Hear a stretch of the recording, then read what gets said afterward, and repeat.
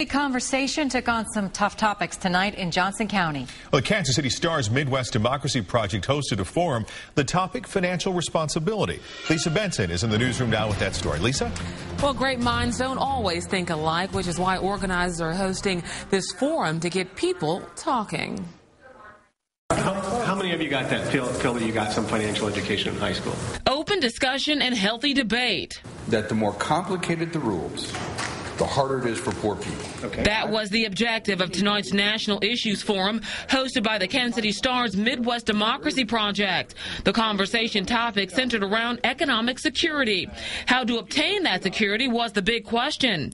Is it personal responsibility, looking out for your greater community, or growth that comes from private enterprise and government intervention? What they're going to do is compare their own stake in the issues and find out whether these perspectives resonate with with their personal experience. Organizers hope to get people more involved in democracy by inviting them to think through and talk about problems that affect people all over the country. Problems like financial ignorance. Most kids are not getting that financial education that they need from their parents. And human nature is, hey, I want to I want to be with everybody else. I want to do just like the Joneses. And if they buy a new car, I want a new car. A financial education that could make all the difference in economic security.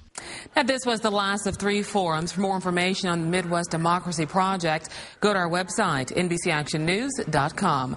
In the newsroom, Lisa Benson, NBC Action News.